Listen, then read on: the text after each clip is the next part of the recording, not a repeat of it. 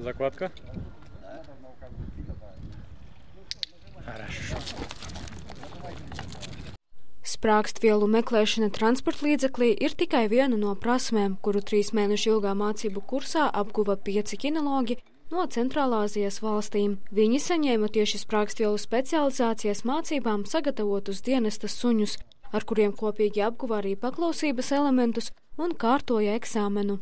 Пак носи бас елементос, видим би јакарто девинас дисциплинас, бие јајет болакос е, арсуни без павадас, тат бие јапил да команда седи гули, јалец пари бариерај, сунја нешана, сунја пјесокшана, Komanda dod, veiksmīgi nokārtoja. Ja spriežot pēc rezultātiem, kolēģis no Turkmenistāna uzrādīja vislabākos rezultātus. 2023. gada martā pie mums piedzima, pie, piedzima kucene, ja, Belģu aitu šķirnes kucene. Ja, un mēs pieņemam lēmumu sagatavot viņus dalībai projektā. Projekta ietvaros mēs nopirkam speciālu inventāru suņu apmācībai, uzturēšanai.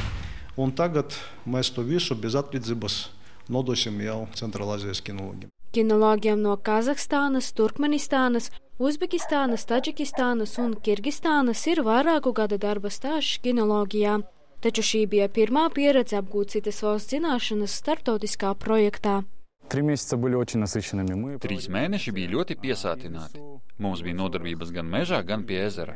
Tāpat arī koledžas teritorijā un ārpus tās. Bija izbraukums uz Viļņu, kur bija nodarbības ar Lietuvas speciālistiem. Tas ir mans uzticīgais sabiedrotais. Pusotru gadu vecs beļģu aitu ganu suns vārdā Nikī. Nebija nekādu problēmu. Sunītis ir ļoti labs. Mēs kopā mācījāmies ar lielāko prieku. Trīs mēnešu apmācība nebija viegla. Parādīja, kā šeit Latvijā pielieto suņus, kā robežpunktos izmanto, patruļās suņus izmanto. Tā ir jauna pieredze, kuru iekļausim savā darba programmā.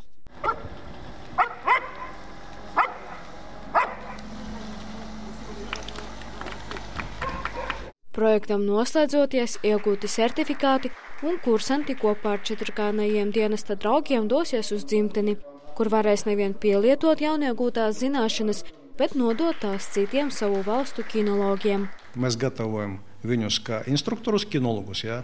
Un atbraucot savā valstī, viņi jau turpinās darbu ar saviem kinologiem, apmācīs viņus kā skolotāji, kā treneri. Šos suņus viņi arī var izmantot vaislas darbam savas valstis. Pirmkārt, meklējot sprāgstvielas, mēs apmācām suņus, lai suņi uzrada pasīvi. Nekādā gadījumā viņš nedrīkst iet uz kontaktu vai ietekmēt uz kaut kādu bagāžu vai transporta līdzekļu skrāpēt. Kinologam jāmāk nolasīt pareizi suns un to reakciju, kad viņš ir sajūtis tas sprāgstvielas.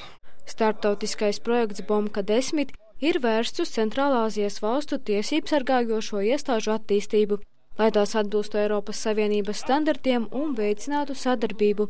Līdz ar Latviju projektā iesaistījusies arī Lietuva, kur mācību process vērsts uz narkotisko vielu meklēšanu. Marta Puzāka, Andrejs Mažāns, Latgales reģionālā televīzija.